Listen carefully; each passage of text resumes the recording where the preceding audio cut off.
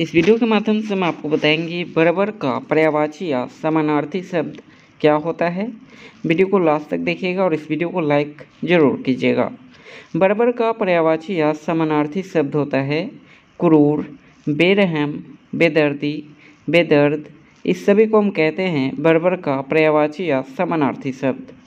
Comment section में आपको बताना है, नाव का अंग्रेज़ी में अर्थ क्या होता है? यानी नाव को हम इंग्लिश में क्या कहते हैं? आई होप आप बता दोगे कमेंट सेक्शन में। और चैनल पे नए हो चैनल को सब्सक्राइब ज़रूर कीजिए।